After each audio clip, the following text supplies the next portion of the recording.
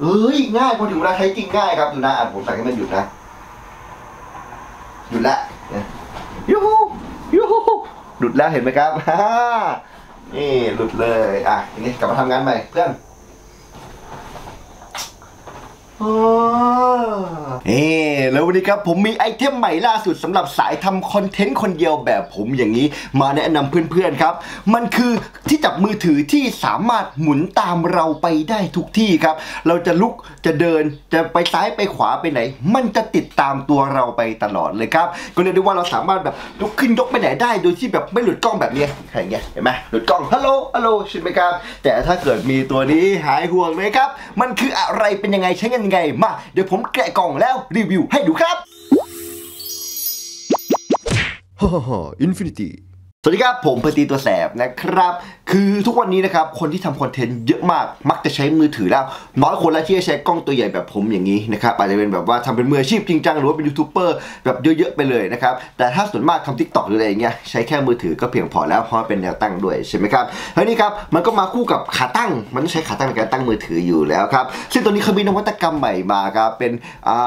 เหมือนตัวติดกับขาตั้งอีกทีหนึ่งแต่เพื่อให้มันมีเป็นแบบเหมือน AI หรือเป็นฟังก์ชันหรือเซนเซอร์อะไรผมไม่แน่ใจมันใช้ระบบอะไรนะครับ มันจะหมุนตามเราได้ครับเนี่ยสมมติตอนถ่ายปุ๊บอย่างนี้ใช่ไหมครับอะสมมติว่านี่เป็นเป็นกล้องที่ถ่ายผมอยู่นะครับปุ๊บพอผมลุกขึ้นเดินครับ มันจะหันตามนี้ หันเองแบบ automatic ครับซึ่งให้ผมลองอ่านดูนะครับเขาใช้ระบบการจับใบหน้า เมื่อเขาจับใบหน้าเราได้แล้วเขาจะตามเราไปไหนเลยเหมือนแบบใบหน้าเราจะโฟกัสอ่าเนี่ยนะมันจะเล็งอยู่ตรงกลางหน้าจอตลอดอะไรแบบแบบนั้นนะครับมาอันดับแรกเดี๋ยวเรามาแกะกล่องดูก่อนแล้วกันนะครับว่าหนึ่งกล่องมีอะไร แล้วมันใช้งานยังไง ผมก็ไม่เคยใช้เหมือนกันนะครับผมเพิ่งได้มาผมยังไม่ได้แกะเลยนะครับเดี๋ยวเรามาดูไปพร้อมๆกันนะครับทดลองใช้ไปพร้อม ๆ กันเลยนะอะมาดูกันครับ นี่ครับคือร้านที่ผมซื้อมาเขาขายเป็นเซ็ตด้วยนะครับ ก็คือทั้งไอตัวอันนี้เขาเรียกว่าอะไรเนี่ยผมว่าเรียกไม่ถูกเหมือนกันนะครับ เป็นตัวแบบหัวต่อที่มันจะหมุนตามนะครับ แล้วมาพร้อมกับขาตั้งกล้องนะครับ ซึ่งขาตั้งกล้องตัวนี้ก็คือรุ่น L16D นะครับ ก็จะเป็นตัวเหมือนที่ผมใช้อยู่ประจำผมใช้มานานมากแล้วตัว L16 นี่นะครับทำ content TikTok ใช้ตัวนี้มาตลอด L16 นี้นะครับก็คือมันเป็นตัวเดียวกันแหละแต่เพิ่มรหัส D เข้ามา น่าจะมาถึงมีไฟมันมีไฟเพิ่มอันนี้ไม่มีไฟเห็นไหมเป็นเปล่าๆนะครับคิดว่าได้แค่นั้นทุกอย่างเหมือนกันนะครับอันนั้นใครจะซื้อไม่ซื้อก็ได้แล้วแต่มันเป็นแล้วแต่ร้านเขาโปรโมชั่นมานะครับคือซื้อสองอันมันก็ถูกกว่าแล้วมันก็หมดราคาซื้อของเยอะอะไรประมาณนี้แต่ถ้าเกิดไม่เอาเราเอาตัวนี้ตัวเดียวก็ได้ไม่มีปัญหานะครับพวกขาตั้งผมก็ไม่ต้องรีวิวนะก็รู้กันอยู่แล้วนะครับ L16 นะ ก็เดี๋ยวให้ลิงก์วิดีโอไว้เพิ่มเติมแล้วกันลิงก์สินค้าไว้เผื่อบางทีสนใจก็ไปซื้อได้ที่มันแบบสองอันคู่กันอะไรอย่างงี้นะครับแต่หลังแล้วดูตัวนี้พอนะครับที่ผมมารีวิวอันนั้นมันคือขาตั้งธรรมดานะมาตัวนี้ครับเรามาแกะกล่องดูกัน มาครับตัวนี้คือผมไม่รู้นะครับว่ามันเป็นยี่ห้ออะไรแต่รู้ว่ารุ่น P02 มันจะมี 2 รุ่นครับ P01 กับ P02 ผมคิดว่า 02 มันก็คงใหม่กว่ามั้งก็เลยจัดมาไม่รู้เหมือนกันอันนี้ครับแต่ว่าก็เออเหมือนแบบมีทางเลือก 2 ตัวผมก็ซื้อมา อันนี้คิดว่ามันน่าจะดีกว่ามั้งนะครับก็ราคาสูงกว่าเพื่อนไง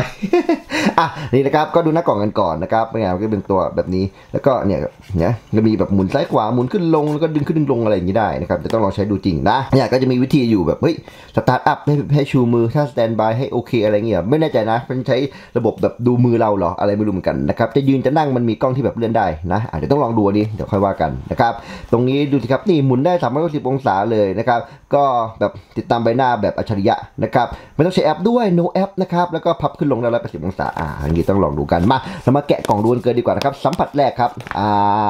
อ่า อะไรเรียกว่าอะไรดีอะอันนี้ก็จะชื่อว่า desktop gimbal อัจฉริยะ อะ ตามนั้นแล้วกัน มา เรามาดูกันครับ บอกแล้วครับว่าได้มาใหม่ๆสดๆร้อนๆเลยครับ ยังไม่เคยใช้มาก่อนเลย ยังไม่เคยแกะกล่องมาก่อนเลยด้วย มาอืด อ่าโอ้นี่ครับโอ้เอาจริงแล้วมันก็เหมือนแบบตัว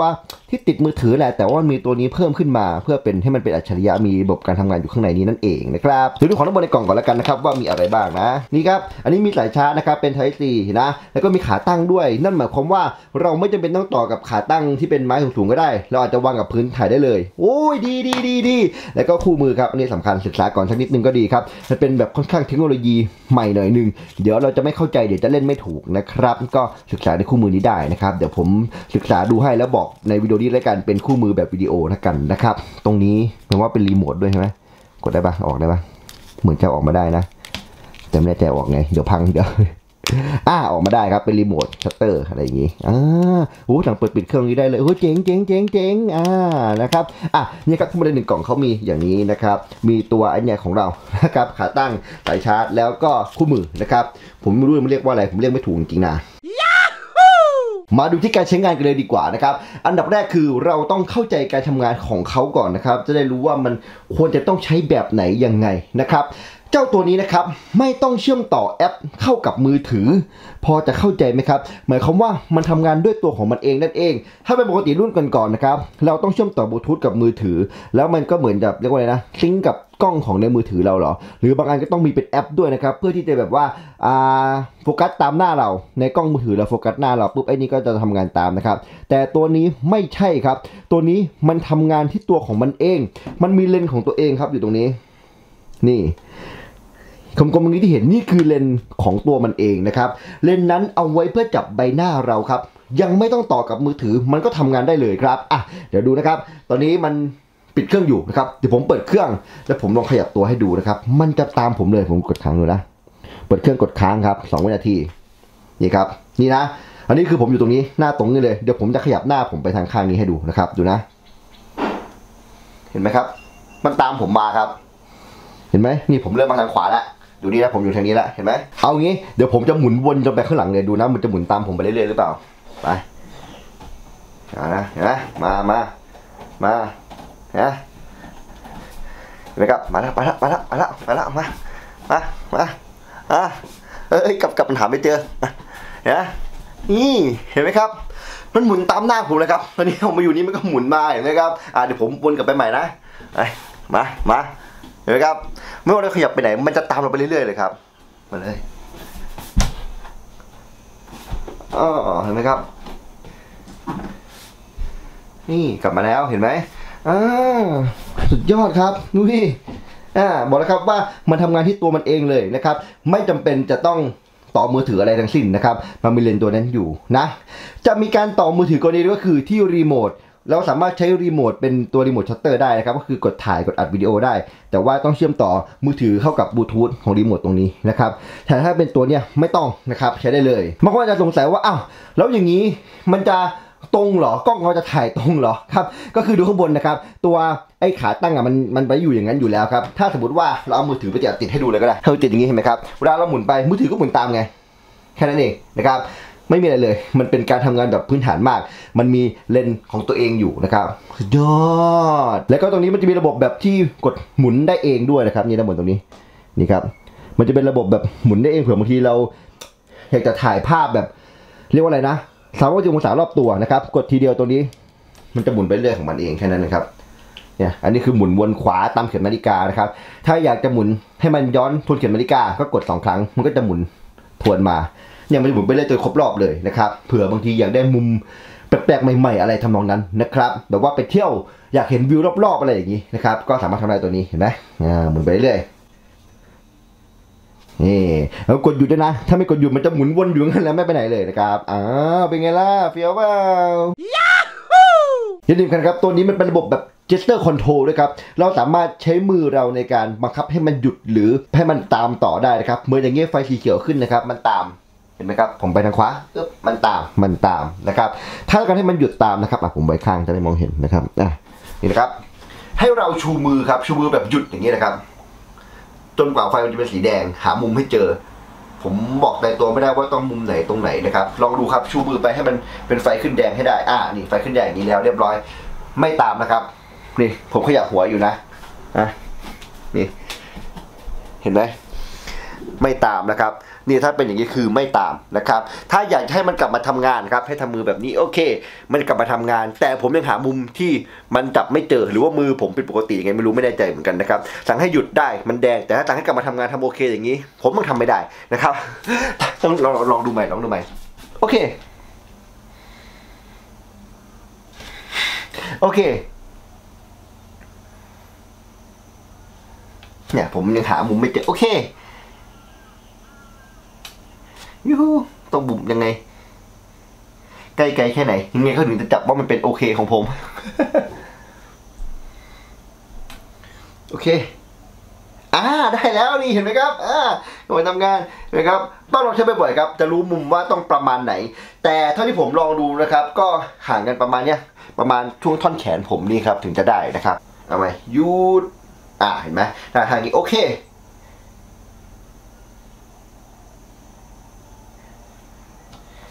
OK!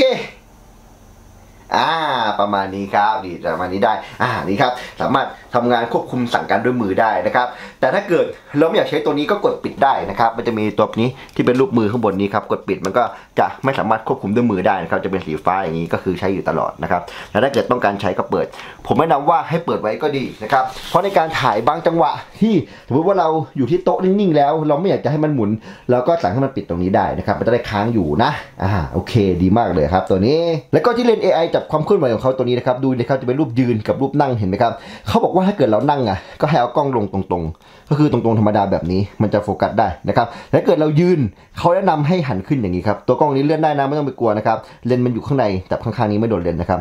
จับกล้องขึ้นอย่างนี้นะครับกรณีที่เรายืนนะ แล้วนิ้วอาจจะวางต่ำหรือวางขนาดประมาณเอวอะไรอย่างเงี้ยถ้าเกิดเราวางสูงเท่าหน้าอยู่แล้วก็ให้ตรงๆเหมือนนั่งได้เลยนะครับอ่านนี้ประมาณนี้ถ้ายืนให้ชี้ขึ้น ถ้าเกิดนั่งให้กดลงตรงนี้ อย่าลืมนะครับไม่งั้นเดี๋ยวมันจะวัดผิดเพี้ยนแล้วมันจะแบบหมุนไม่ค่อยตรงแล้วเราก็จะมาโทษว่าทำไมเครื่องมันไม่ดีนะครับอย่าลืมหมุนตรงนี้นะครับ ถ้ายืนเอาขึ้น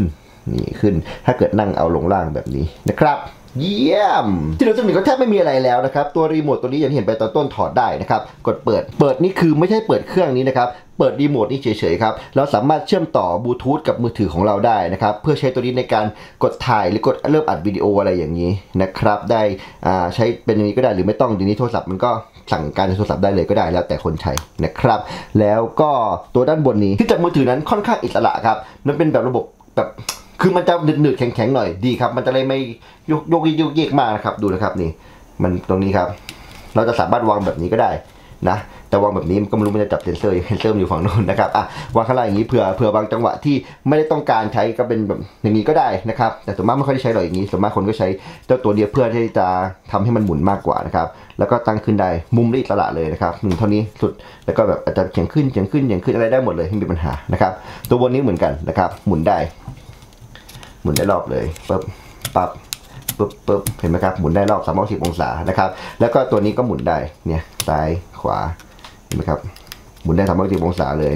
อ่าอย่างเฟี้ยวที่สำคัญก็คือดึงขึ้นได้อีกอะเผื่อบางทีมันสั้นเกินไปเห็นไหมเราสามารถดึงขึ้นได้เลยยาวเลยนี่อันนี้คือสุดนะครับได้เท่านี้เห็นไหมครับแล้วก็เอาลงก็ได้แล้วแต่นี่สละมาก สุดท้ายแล้วอันนี้สำคัญห้ามลืมเด็ดขาดนะครับ เพราะตัวนี้มันมี ระบบการทำงานอะไรเงี้ยต้องใช้ไฟอยู่แล้วครับ มันมีรูชาร์จแบตนะครับ เหมือนที่ผมบอกเขาให้ใส่ชาร์จแบตมาด้วย เป็น USB Type C นะครับ ก็ใช้ของมือถืออะไรเสียบชาร์จได้หมดเลยนะครับ อย่าลืมชาร์จนะครับไม่งั้นพอใช้ไปอยู่แบตหมดเราไม่รู้ตัว เราเดินไปอะทำไมไม่หมุนตามนะครับ แบตหมดได้นะครับ พยายามชาร์จมันบ่อยๆ แล้วกันนะ เอาไว้แบบสมมติก่อนออกงานก็ได้พรุ่งนี้จะถ่ายวิดีโอยาวๆ ก็รีบอัดไว้ก่อนในประมาณนั้นนะครับ ชาร์จแบตไว้ก่อนนะ อ่ามานี้ครับ การใช้งานของเขาทั้งหมดเลย แค่นี้ก็น่าจะเพียงพอแล้ว ก็เหมือนเป็นคู่มือได้แล้วอะเนาะที่เหลือนี้แล้วแต่การใช้งานเลยครับเขาจะตั้งกับโต๊ะแบบนี้ หรือจะเอาไปใส่กับขาตั้งเหมือนที่ผมบอกก็ได้ยังไงก็ได้ แล้วแต่เลยครับใช้ได้หมดตรงตัวข้างล่างนี้เมื่อกี้เออลืมให้ดูอ่านี่ครับมันก็เป็นเหมือนต่อกับตัวขาตั้งกล้องธรรมดาทั่วไปนะครับมันจะเป็นรูอย่างเงี้ยขาตั้งกล้องตัวอื่นก็เป็นอย่างเงี้แหละ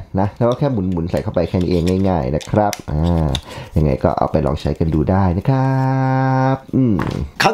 เราไปดูภาพที่ได้จากการใช้เจ้าตัวนี้จริง ๆ กันดีกว่าครับ เดี๋ยวผมจะเอามือถือติดที่นี่นะครับ แล้วก็ทดลองใช้งานจริงให้ดูเลยนะครับ ว่าภาพที่ออกมามันหมุนตามซ้ายขวาอะไรเป็นยังไงนะครับ แล้วก็เดี๋ยวถ่ายเห็นด้วยว่ามันหมุนหมุนมนอะไรยังไงบ้างนะครับนะอ่านี่ครับแล้วภาพที่เปิดเห็นอยู่นะครับคือภาพจากกล้องมือถือของผมที่ติดกับตัวที่มันหมุน AI ดีนะครับดูนะครับเดี๋ยวผมจะขยับซ้ายให้ดู มันก็ตามมาเห็นไหมครับทำไมฮัลโหล อันนี้คือภาพของผมมาลองดูภาพการทำงานของมันครับเวลาผมเลื่อนนะครับมานะครับนะครับโอ้โหมันตามไปหมดเลยครับเห็นไหมครับนี่คือมือถือเราอะจจะติดตั้งแนวตั้งแนวนอนได้หมดเลยนะครับเห็นไหมมันจะตามไปไปหมดเลยนะครับ แต่ถ้าเกิดลุกขึ้นอะไรอย่างเงี้ยไม่ได้นะครับ ถ้าเราลุกขึ้นนะาไม่เจอแล้วนะครับ มันไม่ได้แบบว่าอ่าแนวขึ้นแนวลงอะไรอย่างงี้นะครับ มันได้ซ้ายขวานะครับ เพราะเหมือนปกติถ้าถ่ายแนวตั้งอย่างเงี้ย มันก็จะแบบมันความสูงมันไม่ค่อยมีปัญหาแล้วมันมีปัญหาที่จะหลุดจอซ้ายขวาซะมากกว่านะครับตัวนี้เหมือนแบบเน้นสำหรับใช้มือถืออะไรอย่างเงี้ยนะครับนี่นะผมเลื่อนมาเลื่อนมาเออไปไกลเลยครับเห็นปะเออไปหนีหนีหนีหนีหนีเอ้ยหนี หนีไม่พ้นครับเห็นไหมครับว้าอย่างเท่อะเสมือนว่ามีคนแบบมายืนถ่ายให้เลยนะครับแบบเอาโฟกัสหน้าเราไปตลอดเลยไม่ไปไหนเลยอะไรแบบนี้นะครับอะเอาเนี่ยต้องระวังนิดนึงครับเรื่องมือเมื่อกี้ผมไปทำมือแบบอย่างนี้อย่างนี้มันนึกว่าผมสั่งหยุดนะครับอะมันสั่งให้มันหมุนไหมอ่าโอเคหมุนละเอ้ยง่ายพอถึงเวลาใช้จริงง่ายครับดูนะอะผมสั่งให้มันหยุดนะหยุดละ หลุดแล้วเห็นไหมครับฮ่านี่หลุดเลยอะทีนี้กลับมาทำงานใหม่เพื่อนอลองดูว่าความเร็วมันได้แค่ไหนถ้าผมแบบไปอย่างเร็วมันตามทันไหมดูนะครับ หายเรียบร้อยครับกลับมาก่อนหน้าอยู่นี่อะก็เป็นประมาณนี้นะครับ การใช้งานของเขาเห็นไหมครับ ดีมากเลยนะ ชอบมากแบบว่า เราไม่ต้องกลัวจะหลุดจอแล้วครับ ไปไหนมันก็ตามไปไหนมันก็ตามได้อย่างนี้ ว้าวนี่ครับการใช้งานจริงสุดยอดก็ต้องบอกว่าไปไกลนะครับ โลกของเราทุกวันนี้นะครับไม่น่าเชื่อครับว่าจะมีเจ้าตัวแบบอย่างนี้ได้นะครับทำให้ผมปล่อยมันหมุนไปนะครับ ก็เห็นผมบอกไปนะครับ เป็นตัวช่วยที่ดีสำหรับคนที่ทำคอนเทนต์คนเดียวนะครับถ้าเกิดว่าใครมีทีมงานมีคนถือกล้องหมดแล้วอาจจะไม่จำเป็นตัวนี้นะครับแต่ถ้าคนแบบทำคนเดียวตลอดอยู่บ้านทำเองคนเดียวอย่างเงี้ยตัวนี้เป็นทางเลือกที่ดีดีมาก ๆเลยนะครับหรือว่าไลฟ์สดเวลาไลฟ์สดบางทีเราแบบจะวิ่งไปหยิบจับกล้องอะไรตลอดมันก็ดูไม่ smooth ใช่ไหมครับถ้าใช้ตัวนี้ในการไลฟ์สดนี่ดีมากๆเลยนะครับเราอาจจะทำอยู่ตรงนี้แล้วมันไม่พอเอื้อมไปนู่นไปนี่มันก็จะได้ตามไปนะครับเหมือนจะหักกล้องตั้งเฉยๆอย่างเงี้ยผมไปอย่างเงี้ย หลุดแล้วตัวเราอยู่อย่างนี้แล้วไม่สวยแล้วใช่ไหมล่ะอ่าแต่ถ้าเกิดว่าใช้เจ้านี้นะครับมันก็จะหมุนตามเราไปได้อย่างนี้ดีมากเลยครับวันนี้ผมบอกไปจะซื้อเดี่ยว หรือซื้อคู่กับขาตั้งอะไรก็ได้นะครับได้หมดเลยใช้ถ้าเกิดใครมีขาตั้งอยู่แล้วก็ไม่ต้องซื้อ ถ้าใครไม่มีก็จัดแพ็คคู่ไปได้เลยนะครับบอกได้เลยว่าเป็นหนึ่งของที่มันต้องมีสำหรับคนทำคอนเทนต์นะครับหรือไม่ก็อาจจะแบบว่าอยากถ่ายวิดีโอเล่นๆก็ได้ไปท่องไปเที่ยวแบบต่างประเทศใช่ไหมเนี่ยเราไปที่ที่แบบเป็นสถานที่สำคัญของเขาแล้วก็ไปตั้งไว้อะกดปุ๊บให้มันหมุนสักหนึ่งรอบ เก็บภาพแบบรอบๆ3 6 0องศานั้นก็ได้แล้วแต่การใช้งานนะครับ ผมแค่มารีวิวให้ดูว่าเฮ้ยมันทำงานได้หลากหลายมาก สั่งงานระยะไกลจากรีโมทก็ได้ถ้าถอดมาใช้ครับเชื่อมต่อบลูทูธกับโทรศัพท์หรือว่าไม่ต้องเลยครับ ก็เอาโทรศัพท์หนีบแล้วก็เปิดที่เครื่องนี้ได้เลยนะครับราะว่าอย่างเดียวก็คือแบตมันจะหมดนะครับที่ใช้อยู่แบตหมดไปด้วยตัวแค่นั้นเองครับที่เหลือไม่มีปัญหาใช้งานได้ยอดเยี่ยมเลยครับตัวนี้สุดยอดนั่นแหละครับก็ฝากไว้แล้วกันเผื่อใครที่กำลังมองหาอะไรแบบจริง ๆ แบบนี้อยู่เอาไปใช้ได้เลยนะครับ เยี่ยม อันนี้ไม่จะหมุนไปเรื่อยๆไม่หยุดเลยจริงๆเหรอเนี่ย เอาเปลี่ยนเป็นหมุนอีกครั้งบ้างเขาบอกว่ากดสองครั้งหมุนอีกครั้งไม่จะหมุนอีกครั้งอ่าหมุนไปทางนี้บ้างนะครับอ่าถ้าสนใจเจ้านี้นะครับผมหมาเลยสิครับไว้ใต้วิดีโอนะครับทั้งแบบเดี่ยวแล้วก็แบบนี้แบบที่มันเป็นแพ็คคู่อะไรอย่างนี้เลยนะครับทุกช่องทาง s h อ p e e TikTok Lazada นะครับไปหาจัดกันมาได้นะครับยังไงก็เผื่อเพื่อนๆยังไงถ้าเกิดใครซื้อไปใช้นะครับก็ขอให้เพื่อนๆมีความสุขในการถ่ายรูปถ่ายวิดีโอด้วยขาตั้งตัวนี้ และก็มีความสุขในการทำคอนเทนต์ออกมานะครับเจอกันวิดีโอหน้าครับ สวัสดีครับ อย่าลืมกดไลค์กดแชร์กดติดตามกดกระดิ่งให้ผมด้วยนะครับบ๊ายบายอู้สุดยอด